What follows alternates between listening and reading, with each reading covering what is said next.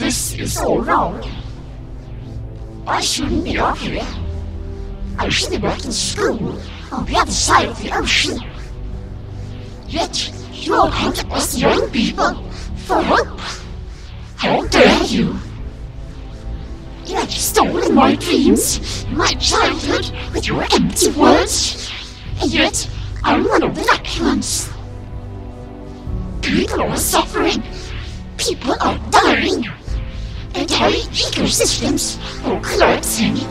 We're in the beginning of a mass extinction, and all you can talk about is money and fairy tales of eternal economic growth.